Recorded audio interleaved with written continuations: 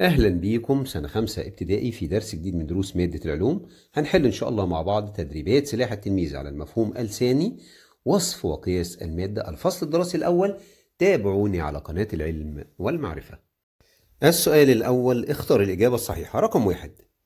تعبر الكتلة عن رائحة المادة طول المادة كمية المادة لون المادة. الكتلة دي بتعبر عن كمية المادة. السؤال رقم اتنين. الحجم هو الحيز الذي تشغله المادة من الزمن الحيز من الزمن ولا الحرارة ولا الكتلة ولا الفراغ. طبعا أقول له إيه؟ الفراغ.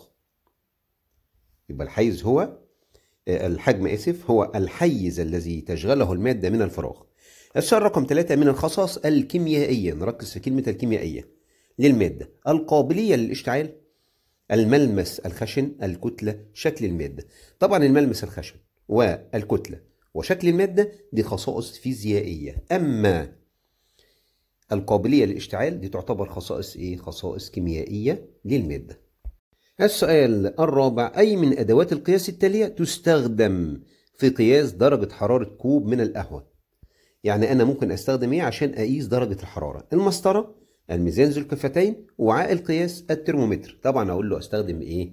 الترمومتر. السؤال رقم خمسة تستخدم وحدة نقط لقياس كتلة الفواكه. أنا بستخدم وحدة إيه عشان أقيس كتلة الفواكه؟ اللتر السنتيمتر مكعب الملي لتر الكيلو جرام طبعا إحنا بنستخدم وحدة الكيلو جرام السؤال رقم آه خمسة ستة. أي من هذه الغازات يفضل استخدامه في ملء بالونات الاحتفالات أو المنطاد؟ يعني إحنا بن بن بنملى البالونات بالونات الاحتفالات. بغاز إيه؟ الأكسجين الهيليوم ثاني أكسيد الكربون الهيدروجين. أقول له طبعا إيه؟ غاز الهيليوم. ليه؟ لأنه أخف وزنا من الهواء. السؤال رقم سبعة. يمكن قياس حجم زجاجة عصير بوحدة إيه؟ السنتيمتر ولا الكيلو جرام ولا اللتر ولا الجرام؟ طبعا حجم الحجم أقول له على طول إيه؟ اللتر. حجم السوائل. السؤال رقم 8 يستخدم نقط في صناعة الأسلاك الكهربية يستخدم النحاس ولا الخشب ولا المطاط ولا الزجاج. طبعا الخشب والمطاط والزجاج دول ما ينفعش إن إحنا نصنع منهم الأسلاك الكهربية ولكن إحنا بنستخدم إيه؟ بنستخدم النحاس. السؤال رقم تسعة. تساعد نقط على رؤية البلورات التي تتكون منها المادة. العدسة المكبرة ولا المسطرة ولا الترمومترات ولا شريط القياس.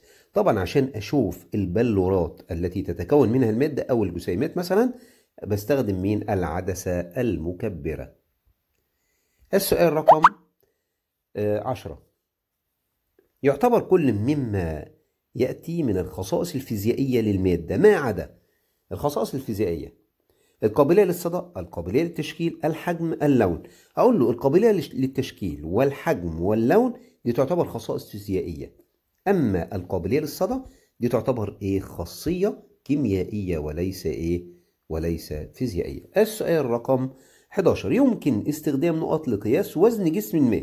عشان أوزن أي جسم أستخدم إيه؟ الترمومتر شريط القياس المسطرة الميزان الزنبرجي أقول له طبعا إيه؟ الميزان الزنبرجي السؤال الثاني أكمل العبارات الآتية باستخدام الكلمات بين القوسين. رقم واحد يستخدم نقط لقياس حجم كمية من الزيت أثناء الطبخ أنا بست عشان أقيس كمي... حجم كمية زيت بستخدم إيه؟ وعاء القياس ولا ولا مقياس الحرارة؟ طبعا أقول له وعاء إيه؟ وعاء القياس. سؤال رقم اتنين يمكن قياس نقط غرفتك باستخدام شريط القياس. هل باستخدام شريط القياس ممكن أقيس الكتلة ولا الطول؟ أقول لك لا طبعا أقيس إيه؟ أقيس الطول. السؤال رقم ثلاثة قابلية الورق للاشتعال وتحوله إلى رماد من الخصائص. أقول له على طول إيه؟ الكيميائية. ليه؟ لأن ده كون مادة جديدة غير المادة اللي كانت إيه؟ موجودة في الأول. السؤال رقم أربعة. كتلة لتر من الماء تساوي نقط جرام؟ اللتر بيساوي 100 جرام ولا 1000 جرام؟ طبعا أقول له 1000 جرام. السؤال رقم خمسة. يعبر الحيز الذي يشغله كتاب موضوع على منضدة. عن إيه؟ الحيز عن الحجم ولا الكتلة؟ أقول له طبعا عن إيه؟ عن الحجم.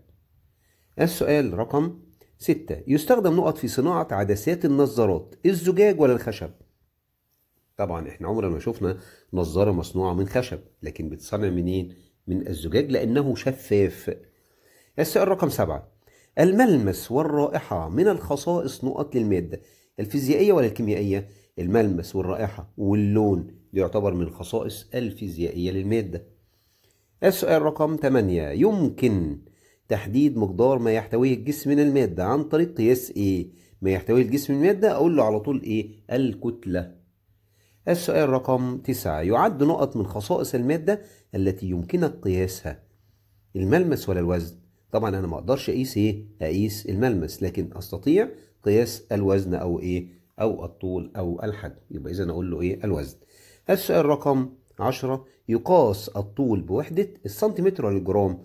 طبعا أقول له إيه؟ السنتيمتر ده قياس الطول. أما الجرام قياس الكتلة. السؤال الثالث ضع علامة صح أمام العبارة الصحيحة وعلامة خطأ أمام العبارة غير الصحيحة أو أمام العبارة الآتية رقم واحد. يمكن ملاحظة الخصائص الفيزيائية باستخدام الحواس. آه طبعا أقول له العبارة صحيحة. إزاي؟ يعني مثلا اللون. أنا بشوف اللون بعيني صح؟ الرائحة. أنا بشوف بشم الرائحة بإيه؟ بانفي يبقى اذا ممكن ألاحظ الخصائص الفيزيائية باستخدام الحواس. السؤال رقم اتنين. يمكن قياس طول صندوق بوحدة اللتر. أقول له العبارة خطأ. أنا عشان أقيس صندوق ممكن مسطرة أو إيه؟ أو شريط قياس. السؤال رقم ثلاثة طول. بقيس الطول يعني. السؤال رقم ثلاثة كتلة مشبك الورق المعدني تساوي حوالي واحد جرام. أقول له العبارة صحيحة. المشبك بتاع الإيه؟ الورق المعدني دوت. ده كتلته حوالي إيه؟ واحد جرام. السؤال رقم ثلاثة قابلية الخشب للإحتراق من الخصائص الفيزيائية للمادة. أقول له العبارة خطأ. قابلية القابلية للإحتراق والصدأ دي تعتبر من الخصائص الكيميائية وليس الفيزيائية. سؤال رقم خمسة. يستخدم المطاط في صناعة الأحذية الرياضية لمرونته عشان المطاط مرن فإحنا بنستخدمه في صناعة الأحذية الرياضية. أقول له العبارة صحيحة. السؤال رقم ستة. تبنى الأسطح الأسطح مائلة لكي تنزلق السلوج عليها في البيئات الباردة. أقول له العبارة إيه؟ العبارة صحيحة. الحاجات دي كلها إحنا درسناها في الدروس اللي فاتت. ارجعوا للفيديوهات في قوائم التشغيل علوم سنة رابعة هتلاقوا كل حاجة موجودة. السؤال رقم سبعة. قابلية السلك المصنوع من الحديد للصدأ. يعتبر من الخصائص الكيميائية. أقول له العبارة إيه؟ العبارة صحيحة. إحنا قلنا دلوقتي إن القابلية للصدى والإشتعال دي خصائص كيميائية. السؤال رقم 8 الجسيمات الأسرع في حركتها تطلق طاقة حرارية أكبر من الجسيمات الأبطأ.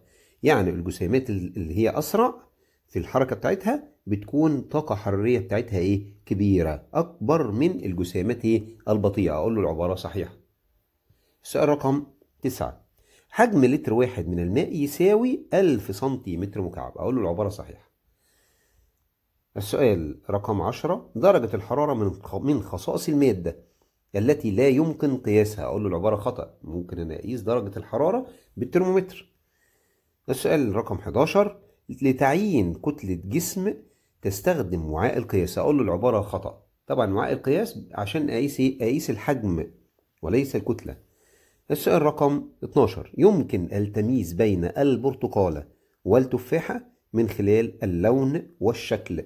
طبعا أقول له العبارة صحيحة. شكل التفاحة غير شكل الموز وكمان لون التفاحة غير لون الموز. السؤال رقم 13 الهيليوم غاز سام وغير قابل للاشتعال. لذلك هو آمن عند الاستخدام في ملء البالونات أقول له هذه العبارة إيه؟ هذه العبارة حبايبي صحيحة. هو آمن طبعا عند الاستخدام في ملء إيه؟ البالونات ده بالنسبة للهيليوم. طيب السؤال التالي 14 لا يمكن ملاحظة الخصائص الكيميائية للمادة عند حدوث تغير واضح فيها. أقول له العبارة خطأ. لا طبعا إحنا بنلاحظ مثلا تغير واضح فيها زي الصدى زي القابلية للاشتعال دي اسمها خصائص كيميائية إحنا بنلاحظها. هنا بيقول إيه؟ لا يمكن.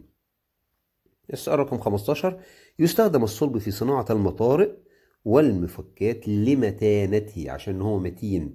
أقول له العبارة إيه؟ العبارة صحيحة. الصلب متين عشان كده بنصنع منه إيه؟ المطارق والمفكات.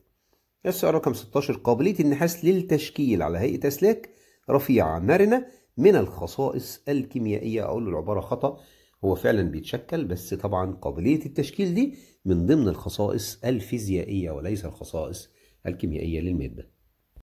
السؤال الرابع اختر من العمود ألف ما يناسب العمود باء الترمومتر الانجذاب للمغناطيس القابلية للاشتعال المطاط شريط القياس. رقم ألف من خصائص المادة الفيزيائية؟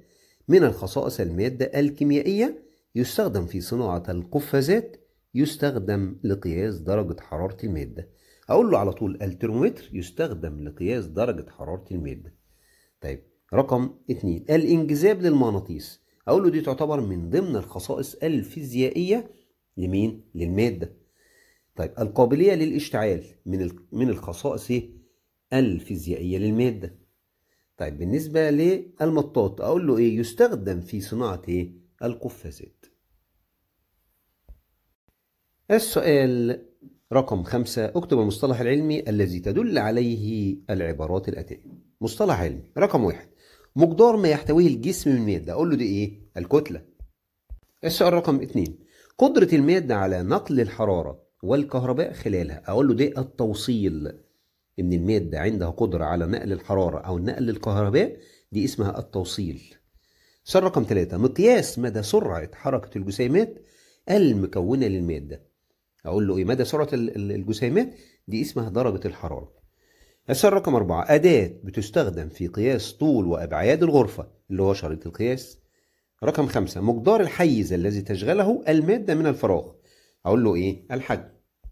السؤال رقم ستة أداة بتستخدم في قياس وزن كرة؟ أقول له الميزان الزنبركي رقم سبعة خصائص تصف كيفية تفاعل المادة مع المواد الأخرى. أقول له الخصائص الكيميائية اللي هي إيه؟ دي خصائص بتصف إزاي بتتفاعل المادة مع المواد الأخرى. السؤال السادس أكتب نوع الخاصية. فيزيائية أم كيميائية؟ خاصية فيزيائية أو خاصية كيميائية؟ السؤال رقم واحد. طعم الليمون اللاذع. الطعم أقول له دي خاصية إيه؟ فيزيائية. هنا هو قابلية قطعة من القماش للإحتراق. أقول له طبعا خاصية كيميائية. رقم ثلاثة ملمس الورق الناعم؟ خاصية فيزيائية. رقم أربعة مقاومة الذهب للصدأ؟ دي خاصية كيميائية. خمسة صلابة الحديد؟ خاصية فيزيائية. آسف مقاومة الذهب للصدأ؟ دي كيميائية. رقم خمسة صلابة الحديد؟ فيزيائية. رقم ستة مرونة خراطيم المياه؟ أقول له دي خاصية إيه؟ فيزيائية. بدعوكم لعمل سبسكرايب أو اشتراك على قناة العلم والمعرفة مع تفعيل زر الجرس لكي يصلكم كل جديد. السؤال السابع أكمل العبارات الآتية رقم واحد. يستخدم نقط في صناعة النوافذ والمصابيح. طبعا الزجاج. ليه؟ لأنه عنده قاب... لأنه شفاف ونافذ للضوء. يعني ينفذ الضوء من خلاله ينفذ. السؤال رقم اتنين كتلة 3 كيلو جرام من الموز تساوي نقط جرام. إحنا عارفين إن الكيلو الواحد فيه 1000 جرام. طب دول 3 كيلو يبقى أقول له 3000 جرام. السؤال رقم 3 يستخدم نقط في صناعة الأواني والأسلاك الكهربية. أقول له النحاس. السؤال رقم 4 يستخدم غاز نقط لملء بالونات الاحتفالات. طبعا إحنا بنملأ بالونات الاحتفالات بغاز الهيليوم لأنه خفيف الوزن. السؤال التالي لاحظ الصور ثم أجب عن الأسئلة الآتية. طبعا ده ميزان وده يعتبر إيه؟ ده يعتبر آه وعاء قياس. طيب أي من الأدوات الآتية تستخدم في تعيين الكتلة؟ أقول له الأداة رقم إيه رقم واحد اللي هو ده حبايبي. السؤال الثاني أكمل مما بين القوسين. رقم واحد تصنع الأسلاك الكهربية من مادة إيه الأسلاك من البلاستيك ولا النحاس؟ طبعا أقول له من مادة النحاس. السؤال رقم اتنين تستخدم هذه المادة أيضا في صناعة اللي هو النحاس المطارق ولا الأواني؟ طبعا أقول له إيه؟ المطارق اللي هي المادة دي يا حبايبي. طيب السؤال رقم ثلاثة قدرة هذه المادة على التوصيل الكهربي من الخصائص الفيزيائية ولا الكيميائية؟ أقول له طبعا إيه؟ الفيزيائية. السؤال رقم ثلاثة أكمل الجمل التالية. رقم واحد. يقيس رقم نقط حجم الماء. رقم واحد ولا رقم اتنين؟ طبعا حجم الماء يبقى أقول له رقم إيه؟ رقم اتنين. اللي هي دي اللي هو ده يعني. وعاء القياس دوت تمام؟ السؤال رقم ب يقيس رقم نقط درجة حرارة الماء اللي هو إيه رقم؟ أقول له رقم واحد. رقم واحد اللي هو إيه؟ اللي هو الترمومتر اللي هو ده. السؤال رقم ج الحجم ودرجة الحرارة من الخصائص نقط التي يمكن قياسها الكيميائية ولا الفيزيائية الحجم ودرجة الحرارة أقول له طبعا خصائص إيه؟ الفيزيائية. السؤال التاسع أجب عن الأسئلة الآتية. رقم واحد. لا يستخدم الخشب في صنع الأسلاك الكهربية طبعا صح أيوه طب أذكر السبب. أقول لك آه. ليه؟ لأن الخشب رديء التوصيل للكهرباء. ما بيوصلش كهرباء. ولا يسهل تشكيله زي إيه؟ زي المعدن. يعني صعب إنك أنت تشكل الخشب زي المعدن. ما تقدرش تعمل منه سلك. سؤال رقم اتنين. أرادت جنى صنع صندوق لوضع الأدوات الخاصة بها. عايزة تعمل صندوق عشان تحط أدوات خاصة بيها يعني. لكي تراها بسهولة بس تشوفها الشرط إن هي تشوفها بإيه؟ بسهولة. فاستخدمت الزجاج لأنه يتميز بخاصية فيزيائية معينة. حددها. أقول لك إن الزجاج بيتميز بالشفافية أو نفاذية الضوء. السؤال رقم ثلاثة كيف تفرق بين إناءين إحداهما به ماء والآخر به عطر. إناء إناءين قدامك. تمام؟ كوبايتين. واحدة فيها عطر وواحدة فيها ماء. أفرق بيهم عنهم إزاي؟ أو بينهم؟ أقول لك طبعا عن طريق إيه؟ الرائحة. السؤال رقم أربعة. توجد خصائص فيزيائية للمادة يمكن ملاحظتها وقياسها. اذكر مثالا على ذلك. أقول لك الحجم. ممكن إيه؟ ممكن ألاحظها. كمان الطول ممكن ألاحظها وكمان أعمل إيه؟ وأقيسها. السؤال رقم خمسة. ماذا يحدث إذا كان النحاس رديء التوصيل الكهربائي أقول لك لا نستطيع أن نصنع منه الأسلاك الكهربية السؤال رقم ستة. يفضل استخدام الهيليوم في البالونات بدلا من الهواء لتميزه بخصائص معينة. حددها. أقول لك أول حاجة الهيليوم غير سام. تاني خاصية غير قابل للاشتعال. الخاصية الأخيرة يعتبر أخف وزنا من الهواء. عشان كده إحنا بنعمل إيه؟ بنملى بيه بالونات الاحتفالات. السؤال رقم سبعة والأخير. عند وضع قطعة من الخشب ومسمار من الحديد في الماء أيهما يطفو فوق سطح الماء وأيهما يغوص؟ إحنا هنجيب قطعة خشب ومسمار وهنحطهم على سطح الماء وهنسيبهم. مين اللي هيطفو ومين اللي هيغوص؟ أقول لك قطعة الخشب ستطفو يعني هتبقى إيه؟ هتبقى عايمة. طب مسمار الحديد سيغوص. بكده يا حبيب قلبي ننتهي من حل تدريبات سلاح التلميذ على المفهوم الثاني. وصف وقياس المادة. بدعوكم لعمل سبسكرايب أو اشتراك على قناة العلم والمعرفة مع تفعيل زر الجرس لكاسلكم كل جديد. وإلى اللقاء. والسلام عليكم ورحمة الله